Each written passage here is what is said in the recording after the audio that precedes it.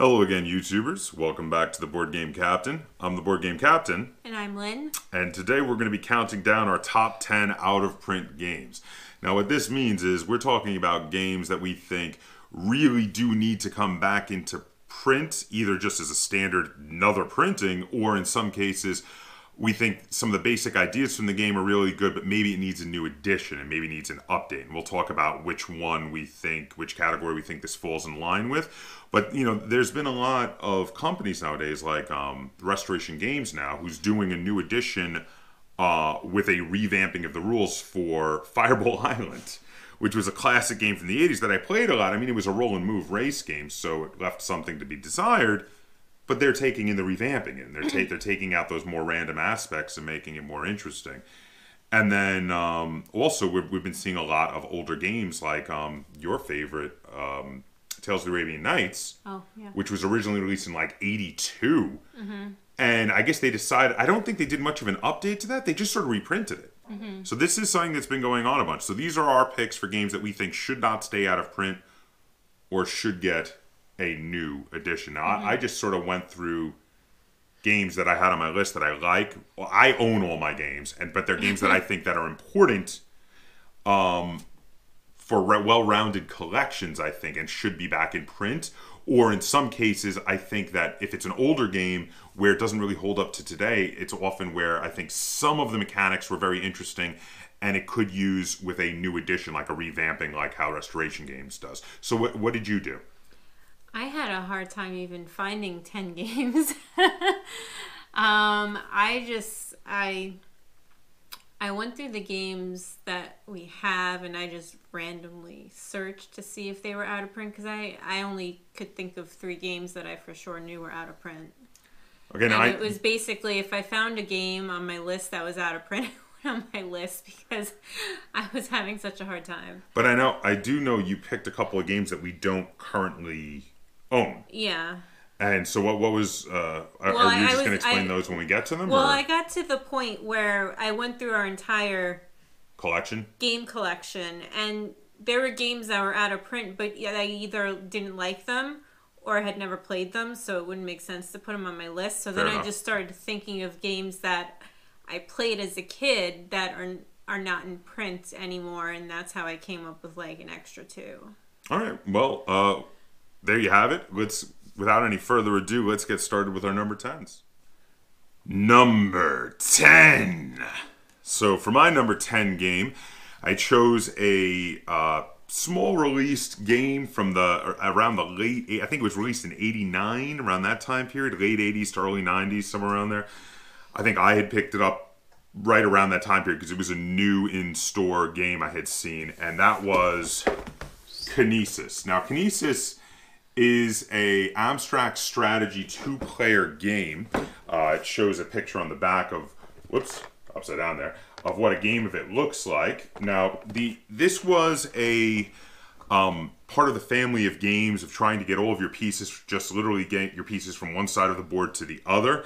But also part of the offshoot of that that included games that allowed you to mess with the board. So the thing was, you had your pieces on either end of the board, which were known as stones, and then there were neutral pieces in the middle of the board, which were known as sticks. And stones could move one space forward or backward, but if a one of your stones was on a stick, and none of your opponent's stones were on that stick, you could move the, the whole stick two spaces forward, backward, left, or right.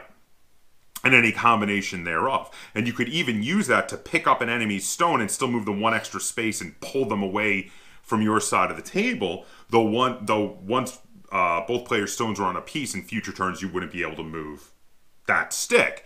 And then also after you moved, the thing about the sticks is they would always wind up connected in this big um, just mess of of interconnected uh, branches. And after you moved, you were always allowed to move uh, your piece by sliding it along a network of connected sticks, and it could slide anywhere that was connected in the sticks, and even up to one space slid off of the sticks. And it was a really cool mechanic, and I love sliding the pieces around. And I don't know of any uh, modern abstract strategy games that play quite like Kinesis did. And I know this wasn't a very wide released game, but I liked it a lot. And also this edition, there was another edition which I don't like the look of nearly as much, but the the the look of this edition I thought was really really cool. I love the cover to it. It's got like the elements, like Yeah. water, earth, Air. air, darkness. What? Is I don't know. No, no, there's no fire. But, but no, it just it, it it had a really cool look to the box. The pieces looked really nice. They were high quality, that like hard kind of almost like bakelite plastic. And I really liked this game. And and this is one I would love to see if somebody would buy the rights to and just I mean I don't even think this needs a rules update. This just needs it's a very simple rules game, takes 5 minutes to learn. I just think it needs to reprinting. Okay, my number 10 is uh, the Mass Effect version of Risk. It we only played uh, the main um, the main game, but it does have some different play modes, including a card and dice game that we never tried. It was very basic. The the, the, the main game was more interesting. Yeah, I mean the main game is is basically Risk in the Mass Effect universe. No, but there was more to it. The sides were asymmetrical. they were, but it wasn't all that different from regular Risk. Okay. Um, so I mean, this is on my list basically because I love Mass Effect. Yeah, this first, and I don't, I don't understand why this particular retheming of Risk wasn't a hit. Mass Effect is so popular, but it kind of fizzled out and didn't really go anywhere. And actually, we we've got quite a few different versions of Risk, and this is one of the more fun versions. This was really cool. yeah, well, we, when well, I got to, I was the Reapers, right? Yeah, you you like being Yeah. the Reapers, yeah. All right, well, let's move on. Number nine. Now, the number nine on my list is a game that comes from a novel. So now I, I like to read quite a bit, and uh, so does Lynn for that matter. And now from the series of books, the um, the John Carter of Mars series or the Barsoom series, depending on what you want to call it, the fifth book in the series was The Chessmen of Mars, and it was a, a, a- one of the better books in the series. And in it, they introduced the the, the game Jetan, also known as Martian chess. Now, in an appendix in the back of the book, they had the rules to play the game, which was really kind of cool. And apparently, way way back in the day, in the first half of the of the um, 20th century, there were imprint copies of the game that were being sold because of the popularity of the uh, the book series. But I went after reading it, I went looking for it, and I couldn't find anybody who was producing a copy of Jetan anymore. So I made my own copy so that I could play it, and it's a little rough. Um, it functions. I've got uh, I've burned uh, symbols for all the different pieces into the pieces there, and this is my copy of Jetan. But as you can see, I'm not much of a craftsman, so it's it, it's a bit rough, and I would love it if somebody would print a copy of Jetan. It's very interesting. It has a similar style to chess, plays it as an abstract strategy game, but the pieces have very different and very unique moves. Also, the board is larger than a normal chessboard. Uh, which normal chessboard is only 8 by 8, but this one is a full 10 by 10 uh, all, uh, especially because it needs to accommodate there's a larger variety of pieces in here and um, it's actually quite a functional game there was only one issue in the original appendix rules which people have generally come to a consensus on online in regard to how it works but this is one i would love to have an actual actual professionally produced copy of and that is Jetan. My number nine is Zombie Pox. Um, it's on the back. You can see how it's set up. It you're basically you're trying to stop a zombie outbreak, and I it was some um. The people who designed it are like scientists or something, and they were trying. They were using it to try and um, explain like herd immunity and how vaccination works to people while making it fun. So they used the zombie. Actually You know? really feels that way too Yeah, and I mean, I mean, it's it's fun. You can play it. You can play it solo. You could play it uh, with I don't know what how many people it goes up to. But Oh, oh, this is one to four. four. up to four One yeah. to four. Yeah, and I mean, I have fun playing it. i enjoyed this And game I, it wasn't bad I appreciate that they're trying to teach people something while also having fun, kind of Yeah. like Jules Verne. And I, I do love Jules Verne that he tries to teach you while also having an adventure. I don't like this game as much as you do, but I did like it, and I did think it was fun. So you know, there you are. It's it's it's a pretty good game. Number eight. So, uh, my number eight game that I think needs a reprint is Locke and Key the Game.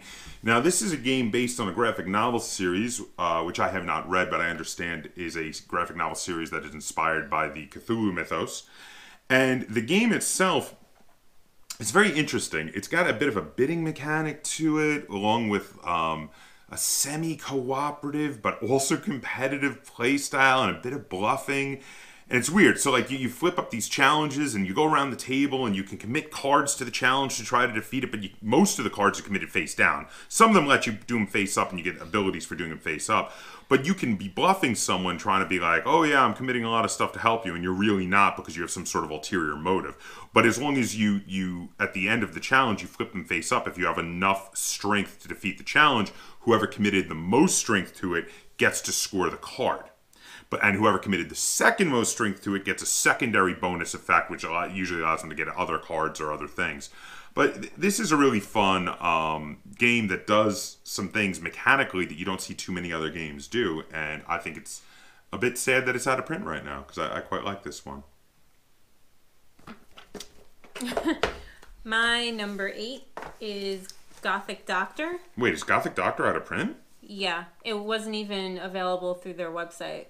Wow. Well, I I didn't even realize it had gone out of print. Um, so basically, you are a doctor that is trying to cure uh, monsters from Gothic literature of their afflictions, and you have to. It, it's hand management and um, right Set collecting. set collecting because you need like to to cure the invisible man you need like five different things and Yeah. and like to cure there's like funny things like for the, all the vampires you need fang extraction Yeah, to cure yeah. them and garlic Yeah. and holy water and there's This is only not on my list because I didn't realize it was out of print. Oh, yeah. This would have been on my list if I knew it was out of print. I didn't know it was. This is a fun. This is a really fun game. Mm-hmm. I like this game a lot. This was actually, um, I think this was one of the first two games we reviewed on this channel. Yeah way back in the beginning. But yeah, I, I like this game a lot. I I'm very sad to know that it's out of print. I had no idea. Number seven. So my number seven out of print game is a tiny little release, independently released game called Outer Earth. Now I like Outer Earth for a lot of different reasons, and this is a game that I really do like, and I wish had gotten a wider release, and I wish some people had noticed and had. Um, you just had a bad time with it because of some bad deals, but this is a great game. The artwork is beautiful and really unique and quirky, and there's there's this awesome bidding mechanic for turn order where you where you do a kind of like auctioning system, and then they have this really interesting thing with these resource cards that that have. Um, specific lines of color so you have to place them in certain orders where where the previous pipe let's see if there's a picture on the back um, they show some there where you have these lines of color and the next card you place has to have an intake where the last card had an outlet to uh, match up and then you you set collect numbers of them to be able to score them. And this was a really cool game. I like this game a lot and actually i wish it hit the table more often but but uh, you had a bad experience during your first couple of games of it because of some bad deals and and you're refusing to play but i like outer earth My number seven is a game that I don't have anymore, and that the board game ha- captain has never heard of until I mentioned it. that, that's correct i i did So, not know this game existed. I got some pictures on my phone. It's the game Notability. It came with a baby, baby grand piano. That's a picture of the uh, That's the box. And then that's what it looked like. There's a little pi- a little electronic piano, and it had a little card with three options on it, and you had to pick which one you wanted. Then the person would play the song on the little piano, and you had to guess the name of the song. And I I just had fun playing the piano, the little baby baby grand. I did not know this this game existed. It seems really weird. But um so are you gonna be looking for this one in like flea markets and antique stores I to see if you think can I've find a actually copy? I think I I actually think I saw a copy at the Volo um, The, the the, antique mall, mall. the antique mall, but it was open, and I was like, "Uh, is it even gonna work anymore? Can you even change the battery? Like, I don't even know." You probably can. I'm sure, I'm sure you can. Number six. So for my number six out of print game, I have the tiny little game of Straw. Now this was put out by AEG, also known as Alderac Entertainment Group. And this is a game that I was recommending to anyone who had elementary school age kids to help them with addition and subtraction because this game is constantly doing addition and subtraction problems and yet making it fun because you're you're adding and subtracting weight from from the camel as you put things on or or, or give uh, or play a flying carpet which then carries some of the weight for them so it subtracts some of the weight. And yeah this this game is is tons of fun for adults and also educational for children and this is a game that, in my opinion, should be in any family's game collection and should never be out of print. And it, it surprised me when I found out it was out of print. So that was Straw. My number six. My number six is Merchant of Venus. Um, it's a fun pickup and deliver game in space. Um, I actually, I was surprised that this was out of print. This- I didn't realize it was out of print. I don't know what happened, but this actually okay. So this was uh, they had a much older version of Merchant of Venus. Fantasy Flight revamped it with this edition, which is great. I thought this great this edition was great, but it went out back out of print pretty quickly. I don't know if they didn't do enough to market it or what, Well, or people I didn't realize how awesome it was. I was thinking about it, and I mean, the Firefly game is still in print, right? yeah. And I was realizing that most games that have some sort of IP connected to them, Mm. especially an IP that isn't active anymore, like Firefly doesn't have a TV show or anything Yeah. anymore, they usually go out of print. Like the Mass Effect one, you know, like they it was in and I mean it was the Mass Effect Risk was in and out of print really quickly. We had trouble getting it, and we tried to get it right away. Yeah. And so I was just I was just thinking that maybe the Firefly game, which is basically a pick up and deliver game in space, It's is very just- similar. It's just it's just the same type of game and more popular. It might be. It might be. Yeah. But uh, that being said, I think there's room in, in your collection for both, personally. And I, I quite like Merchant of Venus. I'll, I'll still play that anytime. Number five. So, my number five of games that are out of print is Parade. This is a fantastic game where you, you line up this parade of cards and you have to play one at the end of the parade. And then whatever number, the cards are all numbered and they're of different suits. The number, that number of cards are safe. You don't have to take them. After that, any cards that either match the color of the card you played or of the same number or lower than the card you played, you have to take. And you don't want to take cards because cards are points and points are bad in this game and you want to mm-hmm. have the least points. And this is a game, again, this is a game that to me really feels like it should be in just about everybody's collection as one of those lightweight icebreaker introductory type games. I love this game. We play it with new people we're introducing to the hobby all the time. And again, I was shocked to find out this had gone out of print. But it, yeah, it had, and uh, I really, would, I really think Parade should come back into print. Uh, this one was published by Z-Man Games. This edition, uh, I really would like either Z-Man to, to, to print another edition or someone else to buy the rights from them and do it because this is a fantastic game, and, and this definitely deserves more attention than it got. And that is Parade, my number. And the box is pretty. The box is very pretty. I agree. My number five, you mentioned already, is Straw. Hmm. Um, I hate math. Numbers are not my friend, but I do find this game fun to play. And I do ask to play it once in a while, even though it's mathy. This is this is this is my way of, of, of sneakily getting you to do more math, so your math is slowly getting better. Is, is I just keep asking to play straw. Number four. Now, my number four is a game I thoroughly enjoyed as a kid. I used to play it a lot. I actually did a video on this recently.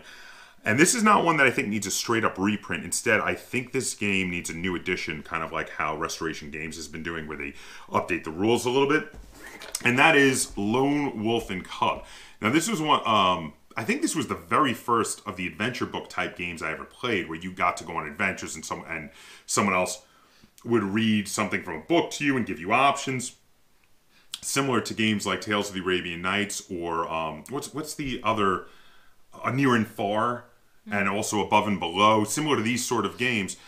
Now I really like this game a lot, but I do know it needs an update. I did notice it's only one to two players, where all those other games can go up to like. Five yes, this is this is um this was the first game also that I ever solo played. Mm-hmm. I solo played this game. Now I'm, I'm never really a big solo gamer, but I solo played this game because I just loved the adventures and I loved going on the adventures.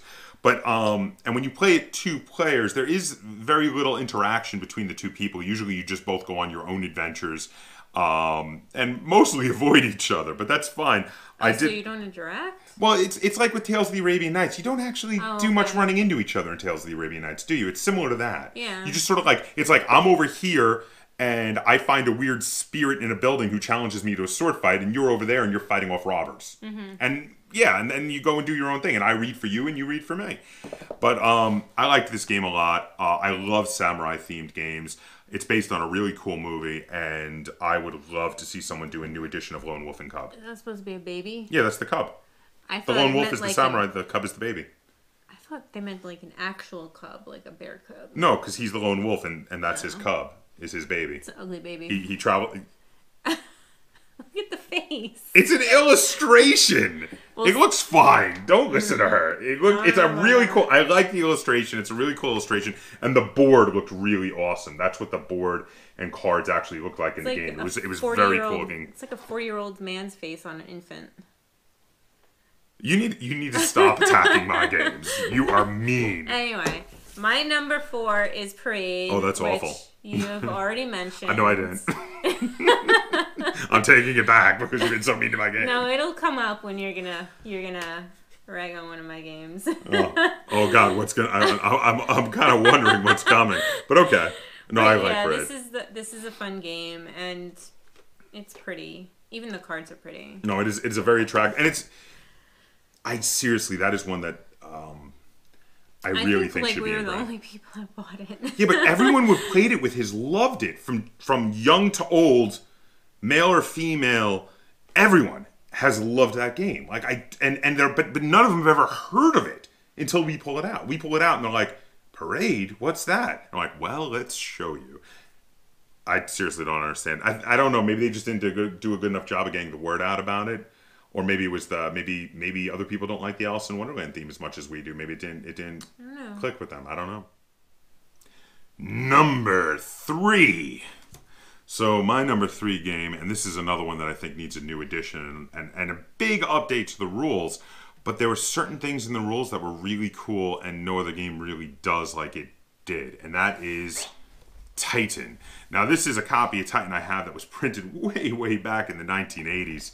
Um, I've had this since I was a kid. This was part of the old Avalon Hill um, uh, bookshelf line. They used to make these games specifically to fit in a a, a oh bookcase. That's what they called them, bookcase games. They were meant to specifically fit in the bookcase. And now th- this was a, a, a game where it, it, it was kind of a a little bit of a war strategy, but in a weird sort of abstract way, where you had different forces and you would travel around the map with a bit of a roll and move mechanic. You'd roll a die and you can move each of your forces that many spaces. And um, you had to move in certain directions once you were moving. When you started, you usually had an option: do I go left? Do I go right? Sometimes you can move as many as three different directions on the map. But then there was like a flow you had to go through, and if you ran into an enemy, you'd have to fight them. But otherwise, you'd land on a space, and all of the spaces had on a chart off on the side of the board, it would show you, well, these are the kinds of creatures that are available in this space. And it would start with the most basic creature, like, say, a gargoyle. And it'd say, well, if you have a gargoyle, you can get another gargoyle. But if you have, you know, two gargoyles, you can you can sh- reveal those two gargoyles, and you can recruit a gorgon. And if you have like two gorgon, you could reveal them and get a, a serpent or whatever, a giant a giant serpent or whatever it was. Um, I'm just using that as an example. I know that's not actually one of the trees, but that's how it used to work. And that moving around and recruiting stuff was just incredibly fun on its own. The problems with this game, which need to be fixed, are this game was made to be played with quite a few players, but then had player elimination, it could go on forever, and that is an issue. I think they should write in a way where one player gets eliminated, the game ends, and you count up points, and each of the monsters mm-hmm. are worth a different number of points, and you just win. And that would make it a much quicker game and, and, much more fun. Also, the battles, because if two people are doing a battle, you actually played out the battle on a little mini board. And while you're doing that, everybody else is sitting around twiddling their thumbs, and that's another one of the minor problems with this game. I think they should do a quicker battle system where you don't actually play it out on a actual board. You just sort of throw down the pieces and see who wins, and the other people lose lose their pieces. You lose most your pieces, and you would just move on. Would be great. If you manage if you manage to make an update to the rules that did both of those, I think you could turn this into a more modern game though, because the whole the weird. Um, the roll and move thing also maybe could be replaced with like a press your luck dice, and then whatever die you wind up with is what you can can actually move. Might be more interesting. Um, but the whole moving around to try to get to the right spaces and recruit the right monsters was really fun. And that's something I don't see any other modern game do, and I'd love to be able to do that again in a more modern setting. So that is my number three, Titan. My number three, I don't have a physical copy of, so I got a picture. It is called Nightmare. If you were anywhere besides North America, Closer. it was called Atmosfear. Um, and that was Atmos and then F E A R because it's it's uh, supposed to be a scary game that you play in the dark. no. And well, I did find out while I was uh, doing research that um, they did it did get a re a re release mm-hmm. with a DVD where they claimed it was different every time. Okay. But then that went out of print as well. Well, so, but I mean, I had never, I, I mean, I don't even remember even hearing about it being reissued with a DVD that changed up the story because the v, VHS tape, it right. was obviously it was the same every time you played. No, I had a friend who I never owned this one. We but should I, probably say what the in case I knew I didn't like say what the game, how the game was played, and I'm talking about DVDs and VHS tapes. go on, go on. Basically, it was a, it was a roll and move game where you're trying to collect keys mm-hmm. to get out the gate. And there was well, I forget his name. His name is like the gatekeeper. Gatekeeper, a gate. Because you, you, had to go. Yes, my gatekeeper. You would put in a VHS tape in your VCR, and the gatekeeper would come on every once in a while. You're dating us. Yeah, he would come on every once in a while and give you things to do. He would either say the youngest player or the player whose turn is next, you need to do whatever, or punish you for things. And well, he, it would usually be if you didn't answer quickly enough. If you didn't answer, he'd say, if you haven't answered by now, um, and then he would punish you. He'd give you yeah. like a, he's like, if you haven't answered this, if you did answer, do this. Yeah. Yeah. And and basically, you, you had to get someone had you had to collect all the keys and get off, open the gate before the end of the tape. Yeah. And then um, like I said before, they reissued it with the DVD that changed things up, so mm. every game wasn't the same. Um, and then I don't know. I guess I mean I didn't hear of it. No one else apparently did either because it's well, print again. yeah. I well okay. I I played this with a friend of mine who owned a copy way way back in the '80s uh, with the VHS one, and I played it once because well, it's always the same. It's always the same. That's the thing is once you learn when when and what the triggers are going to be, you can prepare for them. And um, overall, I just thought it was kind of a gimmick. I don't I don't remember liking this anywhere near as much as you do, but you apparently really liked this game. But you know what? A DVD version where it mixes it up and makes it not all the same all the time. That sounds more interesting mm-hmm. because then it would keep you on your toes.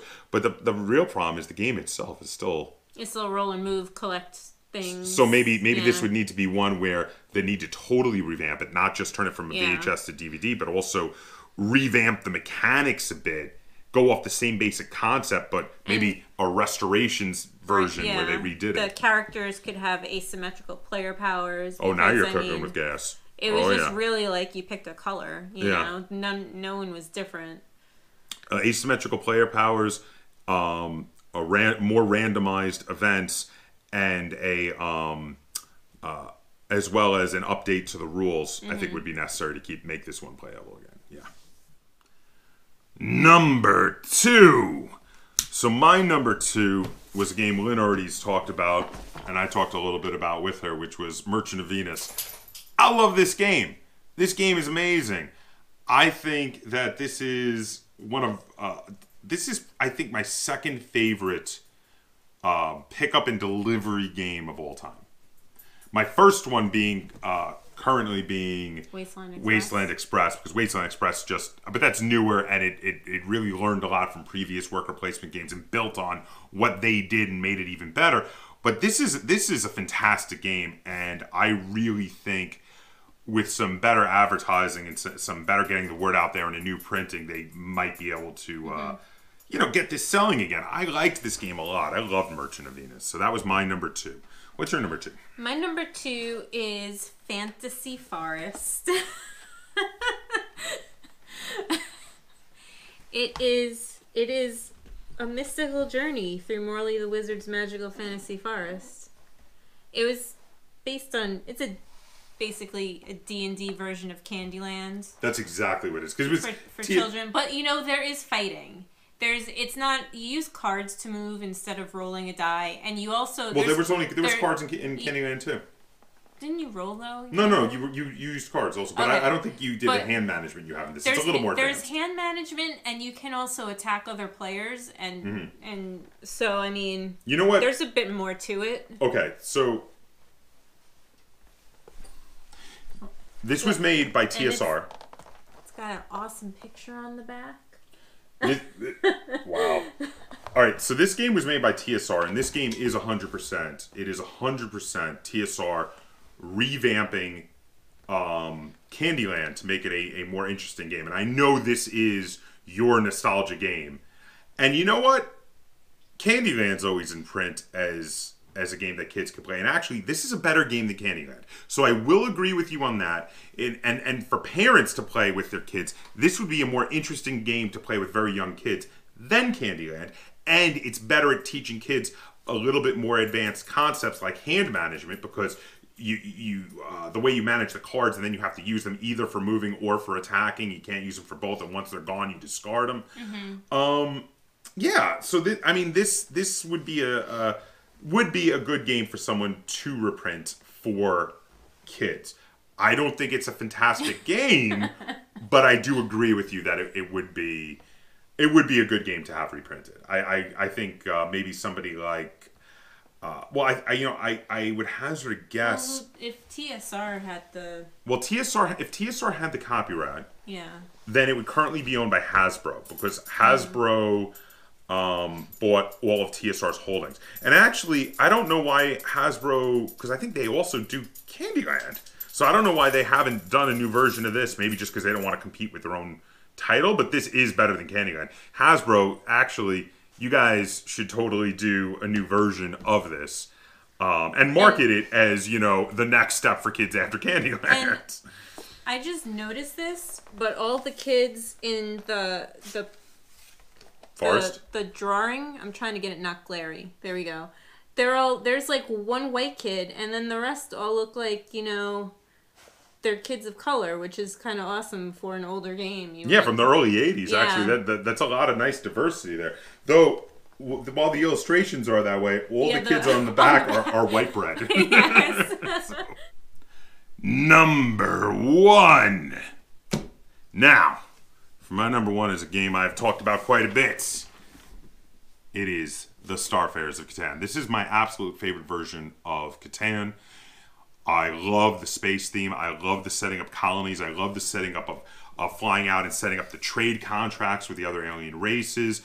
Um, Rolling your spaceship. this is this is one of Rolling the the spaceship is the best part. this is one of the the only downfall of this game is the quality of the components, which tend, tended to break in the initial run, which we still have.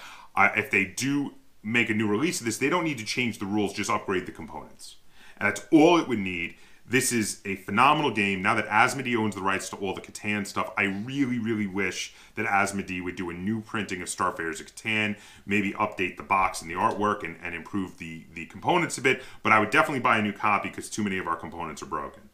But Starfarers of Catan is not only my favorite of the out of print games for my favorite out of print games, but this is one of my favorite games of all time. I absolutely adore this game. So there you have it. My number one, Starfarers of Catan. It is also my number one, Just slide on over a little. and like I said, my favorite part was rolling the spaceship. Well, you loved. see a picture of the spaceship right up here. Well, you loved that because when you rolled the spaceship, The um, little colored uh, If- if it- would come down. and then you would get a card, which those cards were a card version of an adventure book. So you, because someone would read you what happens, and then you had to make a choice, and Yeah, you, love those there- adventure there would book be games. A, it would be a trader, and there would be like, do you want to give uh, a thing to the trader? How much would you wanna give? How many do you want to give? Yeah. Because it would be yes or no. So you would say yes, and then you you they would say, okay, how many of the goods do you want to give to the trader? Or it'd be like uh, you encounter a pirate. Do you run or do you fight? Yeah. You you you you you uh, get a distress signal. Do you do you answer the distress signal? My favorite part was getting an encounter. I was probably like, like everybody else, because it was a black bead that would come down if you got an encounter, and all the other ones were just speed. And I remember like I would get a black bead, and I would be like, yes, awesome. And, and when everybody else would get a black bead, they'd be like, man, I wanted to go and do that yeah, I want to move and do things. because you couldn't move Well- if you got an encounter. Well, you, you could move as long as it was successful, but if you got a negative, so there were some Yeah. bad encounters like getting hit by pirates that if you failed, you'd be stuck for a turn. If and it was, like, just all getting encounters, I would have been like, I mean, I'm already there, but I would have been more well, you there. love, you love those games. so there you have it. Those are our top 10 out of print games. So why don't you tell us in the comments down below what are your favorite games that you really wish would come back into print or maybe have a new edition done by somebody like Restoration Games who seems to be doing a lot of that. So let us know in the comments down below also what you thought of our choices for our top 10 out of print games. And if you enjoyed this video, be sure to give it a like, share it on social media, and if you haven't already, please subscribe to the Board Game Kaptain. That's Captain spelled with a K on YouTube. And until next time, game, Game on. on.